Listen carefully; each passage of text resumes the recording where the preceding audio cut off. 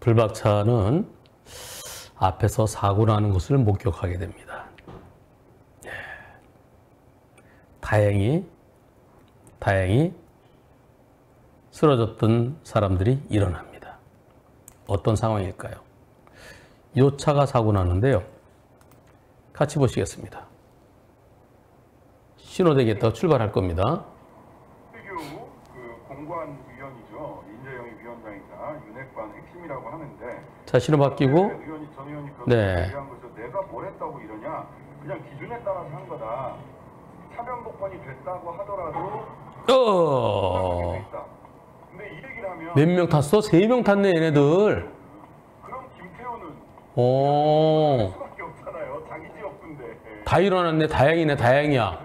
다행이야. 한다 팀이라고 하는데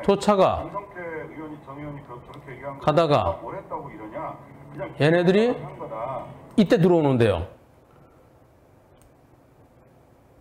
요차 운전자에 보일까요?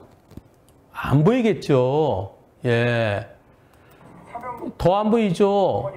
와, 꽝. 어, 그래서 제일 마지막에 온 데는 튀어내렸네. 뛰어내렸어, 마지막에. 야! 얘는 뛰어내렸어. 오, 순발력 있네. 이 사고, 요차 운전자에게 잘못이 있나요? 저거, 쟤네들 저런 잘못하면 죽습니다. 아무도 헬멧 안 썼어요. 자, 100대 빵이다. 저 자동차에도 이렇게 잘못이 있다. 이거 투표해 볼 필요가 있나요? 투표 시작. 그렇죠. 100대 빵이죠. 지금 어떤 분께서 2등 출발이 아쉽다 그러시는데 이건 2등 출발이 아니죠.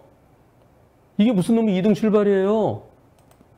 2등 출발은 핵심이라고 하는데 아 2등 출발 아무리 2등 출발하면 자.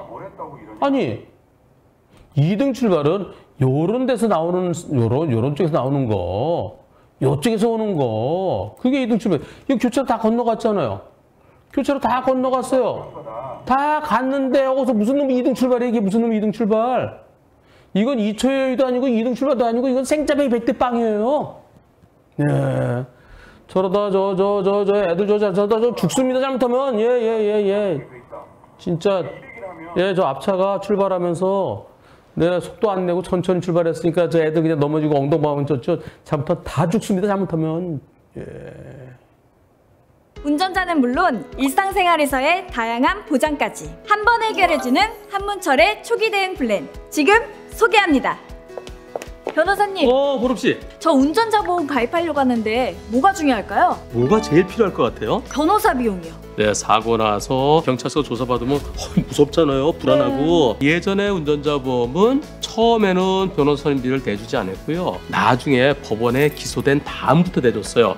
하지만 그 변호사 선임비 언제부터 필요할까요? 처음부터 필요하지 않을까요? 그렇습니다. 한문철의 초기 대응 플랜은 사고 직후 경찰 조사 단계부터 변호사 선임비를 지원해주고요. 그런데 그 변호사 선임비는 우선 내 돈으로 변호사를 선임하고 영수증을 받아서 보험사에 갖다 줘야 돈을 내줘요. 돈이 없으면요? 그렇죠. 그래서 한문철의 초기 대응 플랜은 변호사를 선임한 직후 곧바로 보험사가 선임비의 50%를 특약 실손 범위에서 지원해줍니다. 아, 변호사님. 제 조카가 자전거 타고 가다가 비싼 차를 쭉 긁었거든요. 아이고, 아이고. 그래서 언니가 수백만 원을 물어주게 생겼어요. 이런 아. 경우는 어떻게 해야 돼요? 그런 경우에도 한문철의 초기 대응 플랜은 우리 애들뿐만 아니라 우리 가족들이 실수로 누군가에게 손해배상해줘야 될 때 특약 실손 범위에서 보장해드립니다. 보름 씨, 로드킬 사고 많이 보셨죠? 네. 이럴 때는 어떻게 보상받아요? 한문철의 초기 대응 플랜은 로드킬 사고뿐만 아니라 낙하물 사고에 대해서도 특약으로 보장해 드립니다. 정말 운전자를 위한 운전자 보험이 많네요. 운전할 때도 운전 안 할 때도 정말 든든하네요. 그럼요. 저 한문철이 제 이름을 걸고 만들었습니다. 제대로 만들어야죠. 운전자는 물론 일상생활에서의 다양한 보장까지. 한문철의 초기 대응 플랜 1644-0070 1644 0078 보험 체결 전 상품 설명서 및 약관을 읽어보시기 바랍니다.